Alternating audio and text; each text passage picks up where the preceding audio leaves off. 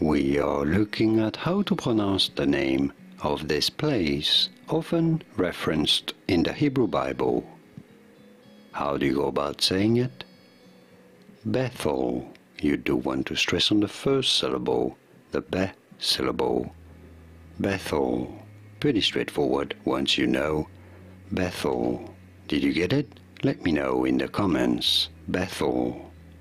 Here are more videos on how to pronounce more biblical names and words whose pronunciations aren't exactly always obvious.